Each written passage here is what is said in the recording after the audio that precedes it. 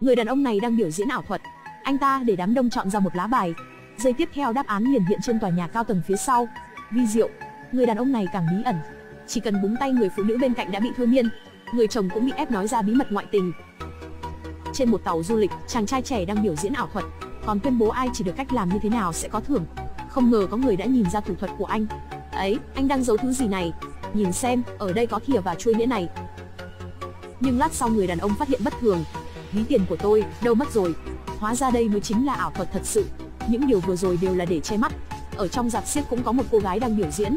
Cô ấy bị khóa trong một bồn nước và phải thoát ra ngoài trong vòng một phút. Nếu không sẽ bí cá ăn thịt phía bên trên làm thịt. Chưa đến 20 giây cô ấy đã mở thành công khóa trên tay. Nhưng đến khóa ở chân thì không thể mở được. Cô ấy ra dấu cầu cứu. Mọi người ở đó đều bị dọa hoảng sợ. Khi Kim chỉ đúng giờ cô ấy đã thành công thoát ra, nhưng đã quá muộn. Nhưng không ngờ lúc sau cô ấy lại xuất hiện giữa đám đông, người hoàn toàn lành lặn. Đây mới chính là màn biểu diễn ảo thuật đỉnh cao. Người biểu diễn trốn thoát Henley, người biểu diễn thuật che mắt rách, bậc thầy thôi miên Merit, vua bài Tây Daniel, bốn người đều là những bậc thầy ảo thuật ở các nơi trên cả nước. Nhưng họ nhận được một tấm thiệp mời giống nhau cùng hội tụ lại một điểm. Người mời chính là người đứng đầu của hội ảo thuật MG. Được gia nhập vào MG là ước mơ của bất kỳ ảo thuật gia nào. Bốn người không chần chừ nữa, lập tức đến điểm hẹn. Nhưng ở đó không hề có ai, người mời cũng không hề xuất hiện, chỉ để lại một chiếc máy phát. Bên trong là ba bản kế hoạch biểu diễn ảo thuật. Chỉ khi nào hoàn thành được ba màn biểu diễn này mới có thể gia nhập vào MG. Ba màn biểu diễn, cái nào cũng đều rất khó. Sau một năm cố gắng họ đã chuẩn bị xong màn biểu diễn đầu tiên, cướp ngân hàng xuyên không gian. Cho dù không rời khỏi sân khấu, cũng có thể chuyển hết toàn bộ tiền mặt ở một ngân hàng đến đây. Mọi người đều hét lên không thể. Bọn họ đều đã dự tính trước, chọn ngẫu nhiên một vị khách trong dạp, sau đó để anh ta ngẫu nhiên nói ra một ngân hàng bất kỳ để làm mục tiêu cho tối nay. Không ngờ anh ta cố tình tăng độ khó cho game. Ở muốn đến một ngân hàng ở Paris, người ở Mỹ lại cướp một ngân hàng ở Paris. Đây là điều không thể. Bốn người vẫn không nào núng để vị khách kia ký tên vào một lá bài. Sau đó đeo thiết bị vào và đứng vào vị trí. Mọi người vô cùng tò mò sẽ xảy ra tiếp tục chuyện gì. Dứt lời, người đàn ông kia liền biến mất. Mọi người còn cho là tai nạn lúc biểu diễn thì hình ảnh của anh ta đã xuất hiện trên màn hình. Anh ta đã dịch chuyển tức thời đến bên trong ngân hàng mà mình muốn. Ngay cả lá bài đã ký tên và vé vào cổng cũng giống hệt nhau. Daniel bảo anh ta vứt tấm vé và lá bài vào trong, sau đó nhấn nút ở trên chiếc mũ. Số tiền thật sự đã được chuyển đến sân khấu biểu diễn. Thật là vi diệu quá. Bên phía ngân hàng Paris, sau khi phát hiện đã báo cảnh sát, nữ đặc vụ Almer cũng được phái đến Mỹ để phối hợp điều tra. Nhưng sau Dylan và Almer thẩm vấn và quan sát bốn người họ xong, không chỉ không điều tra được gì còn bị chọc tức. Không còn cách nào đành phải thả bọn họ ra. Sau đó ngờ Bradley giúp đỡ.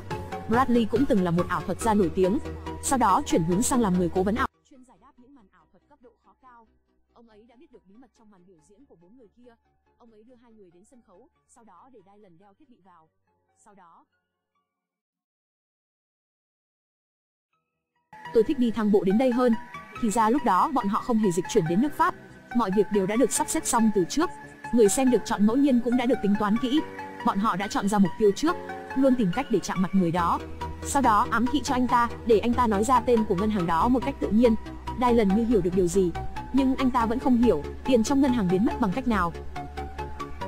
Giấy điện tử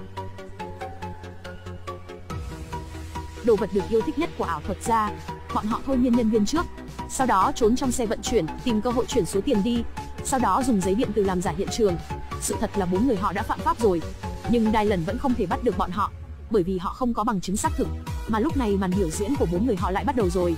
Cảnh sát lập tức đến buổi biểu diễn, quyết tâm được bằng chứng. Màn biểu diễn thứ hai tên trò chơi tài khoản tiết kiệm. Merit nói mọi người viết ra số tiền tiết kiệm trong tài khoản. Sau đó anh ta đi đoán. Không ngoài dự liệu, tất cả đều đúng. Sau đó họ mời ông chủ Arthur đã đầu tư cho mình lên sân khấu. Sau đó đoán chúng được số tiền trong tài khoản của ông ấy. Lúc này điều thần kỳ đã xuất hiện. Tài khoản của ông Arthur đột nhiên ít đi 70.000 đô. Thì ra số tiền này đều chuyển đến tài khoản của một khán giả nữ. Lúc sau tất cả mọi người có mặt đều nhận được tin nhắn. Tài khoản của ông ấy đều chuyển đến tay của họ. Trong phút chốc A Thua bị biến thành kẻ nghèo. Ông ta vô cùng tức giận, nhưng bốn người hoàn thành màn biểu diễn liền rời khỏi sân khấu. đai lần lập tức tiến lên ngăn cản, những bọn họ đã thoát được. đai lần vô cùng tức tối khi để bốn người phạm pháp ngay trước mắt mình, còn bản thân thì không thể phát hiện được chút sơ hở nào, mà anh ta cũng không thể hiểu được động cơ gây án của họ là gì. Cướp tiền của ngân hàng và ông chủ, sau đó đem toàn bộ số tiền chia cho khán giả. Lẽ nào mục đích thật sự là cướp người giàu chia cho người nghèo sao? Lúc này cảnh sát nhận được manh mối về căn cứ của bốn người kia.